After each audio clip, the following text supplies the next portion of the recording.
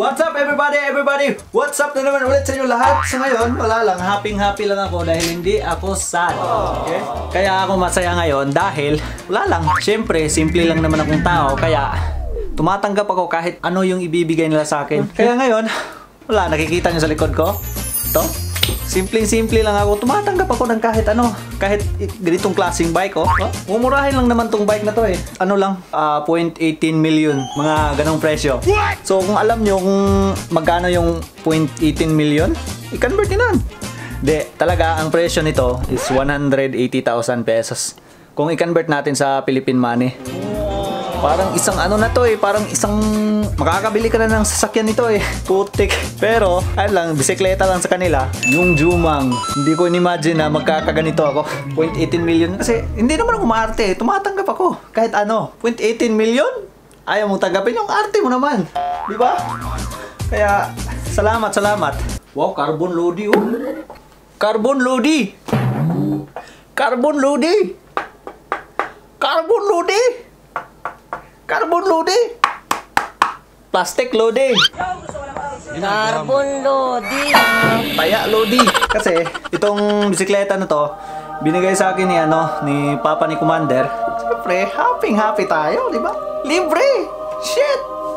Alright! Saka itong bisikleta na to, yung brand nito, iconic brand. Bridgestone. Bridgestone yan pare, Bridgestone.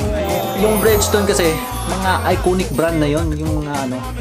Tapos sabi niya, hindi mo to makukuha sa mga ano sa mga shop. Kasi in-order niya to sa ano sa, sa mga ano talaga to galing company na Bridgestone. Kaya sampung taon na niya tong hindi ginagamit. So sabi niya mga limang beses lang daw niya ginamit to. So ngayon ayaw na niyang gamitin. Kaya kaya sabi ni Commander kung gusto ko ba raw ng bike. Sabi ko oo naman bakit hindi? 'di ba? Wala tayong sasakyan dito, hindi tayo makapunta kung saan-saan dito kasi wala tayong ano. Sabi niya, kung gusto mo itong bike na to, sabi ni Papa ni Commander, bibigay ko to sa'yo. At saka sabi pa nang nagbigay nito, tumatakbo raw to ng 100 kilowatts per hour. Wait a minute. Hindi, hindi. 1,000 kilometer per one month siguro. Hindi, joke lang. Joke. Ah, symbol natin ha.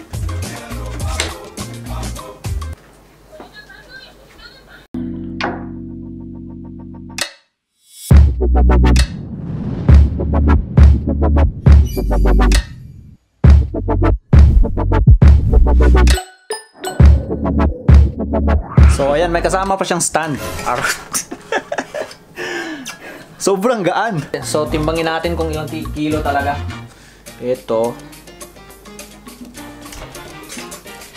Grabe, sobrang gaan. 9.3 kilos lang. Grabe ang gaan, no? May kasama pa siyang mga ano, may kasama siyang mga helmet, mga uniform, yung sapatos. Kasi para daw ano, set na.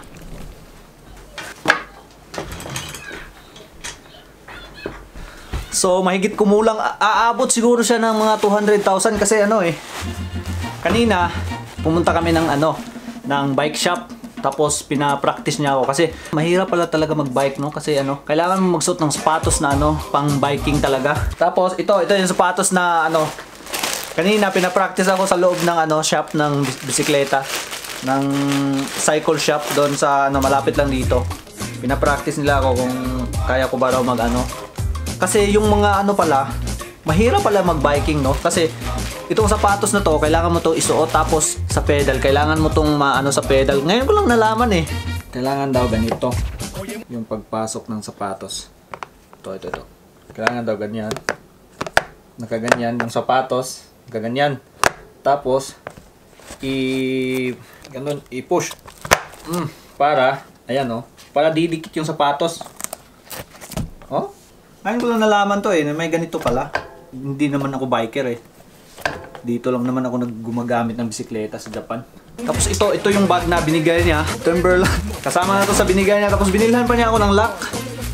Itong lock na to, ah, gumasto siya kanina ng ano, mga 4,000 pesos siguro sa mga ano, sa register. Kasi yung bisikleta dito, dapat eh pa-register kasi kapag ninakaw, uh, isusumo mo sa pulis, may ano ka, may katibayan kang ito yung katibayan niya oh. Ito yung rehistro niya. Kasi nagparehistro kami kanina. Yan, yan, yan. Doon lang. Yan, yan, yan, oh. So, ibig sabihin, register na siya. At ito yung, ano niya, yung register number. So, kung sakali na nakawin to, kasi madali lang nakawin kasi ang gaan eh. Sobrang gaan. Ah, grabing alikabok. Ang bag na to. Ito, ito. Ito yung una nating ano, bubuksan. Ano to, mga ano siguro to. Ito, parang ano ata. Ah, uniform. Oh, jacket. Yung mga pang bisikleta talaga. Ito, t-shirt na pang biking din. Damn. Damn. Oh, tapos ito, pang suot ni Big Show. Padding, padding sa puwet. Para kung malayo yung ano mo, travel mo, hindi sasakit yung puwet mo. Damn.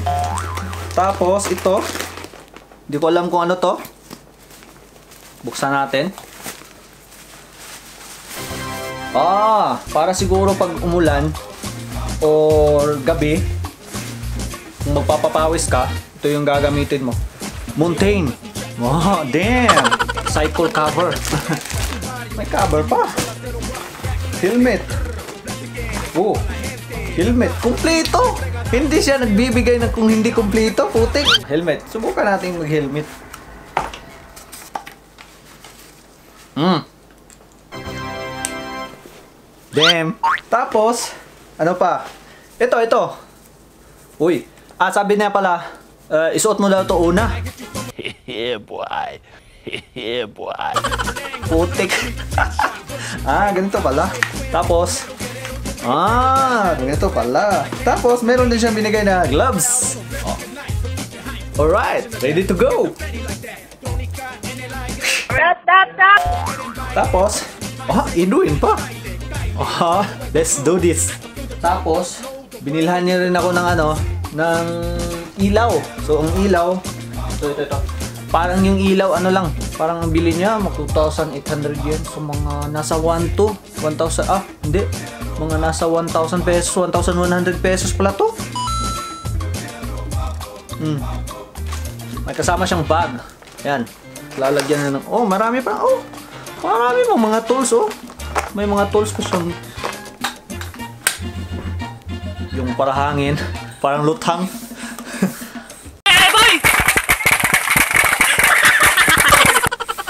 Parang ringga. Ah! Kaya lang, ang ano lang nito, hindi siya disc brake. Kasi base sa ano, nag-research ako, nag-research ako kanina, yung mga professional pala, hindi pala sila gumagamit ng ano, ng disc brake. Kasi mabigat pa yung disc brake. Ano daw, mas maganda pa raw yung ano, ah, yung caliper na brake. Kaya ito yung mga ginagamit talaga ng mga pro. Ito lang yung brake, hindi siya disc brake. So yan oh, brand oh. Hmm? Kita nyo yan? Hindi pa niya pinalitan ng ano to. Gulong ba? Sampung taon na daw to. Kung ano naman yung bike mo, mountain bike, dapat talaga ano, disc brake. So yun yung ano, sinabi ng ano, bike expert. Carbon Lodi oh. Carbon yan Lodi. Ang Cormar Lopez. So ngayon, mag-practice tayo sa labas para masanay tayo dito sa bike na to, saka sa sapatos na to.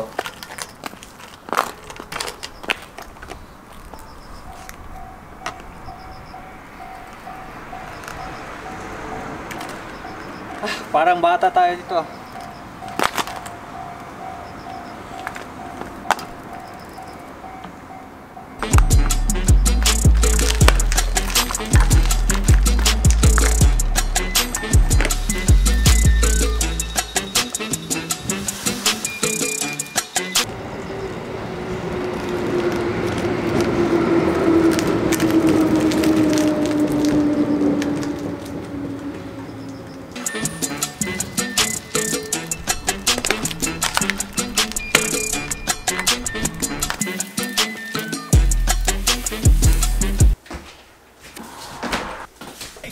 Siyempre, hindi naman tayo pa ano, kahit konti man lang, eh, nagbigay pa rin tayo ng ano, ng pasalubong sa kanya kasi alam niyo naman na kung dito kung magbibigay sila, dapat magbigay ka rin ng konti kasi ano, para rin sa ano, parang pasasalamat na rin. Siyempre, ano yung binyahe nila? Pitong oras sila nagbiyahe para lang pumunta dito para lang ihatid tong bisikletang to. Pitong oras tapos gumastos sila ng ano, toll gate fee. So yung toll gate mga nasa 4,000 pesos. Tapos yung gasolina pa nila. Pinakain pa nila ako ng tanghalian. De, syempre package na lahat. Kapal ng mukha mo.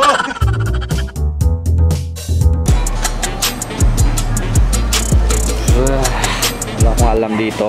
Hindi ko alam kung anong bibilhin ko. Sino sa'yo?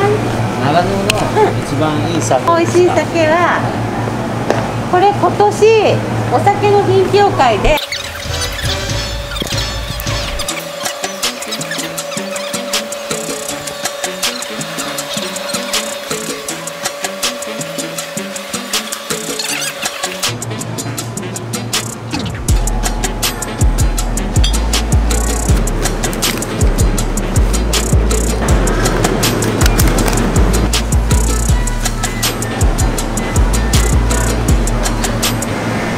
これやってますかはい